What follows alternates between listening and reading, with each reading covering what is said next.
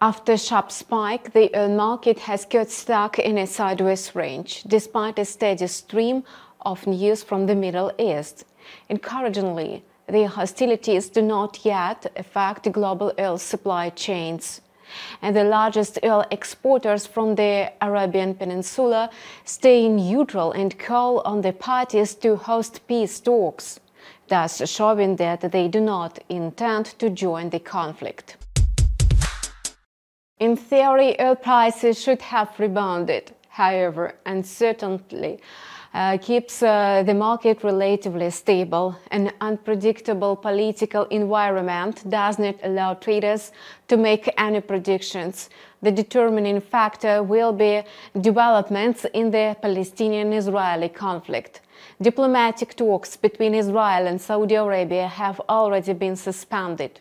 In addition, possible evidence of Iran's direct participation in attacks has raised fears that the United States could ramp up sanctions on Tehran as Iranian crude exports to China are running at the highest level in at, at least a decade. Meanwhile, Venezuela and the United States have reportedly progressed in talks that uh, could provide sanctions relief to Caracas by allowing at least one more foreign oil company to take Venezuelan crude oil for debt repayment under certain conditions.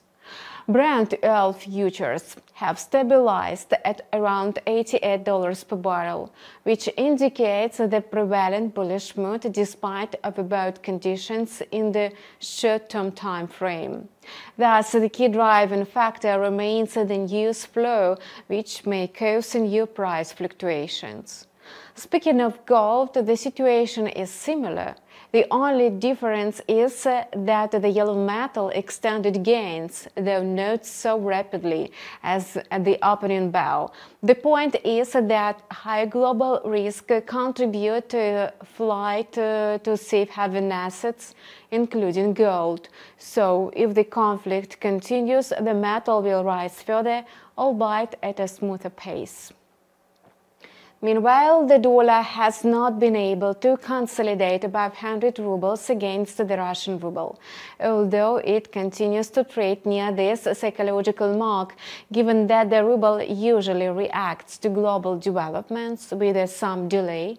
A steep decline in the dollar last week will soon affect the Russian currency. The ruble may well start gaining value as early as today, However, its bullish run is likely to be sluggish as usual. That's all for now. We wish you profitable deals. See you on our channel with a new video in a couple of hours.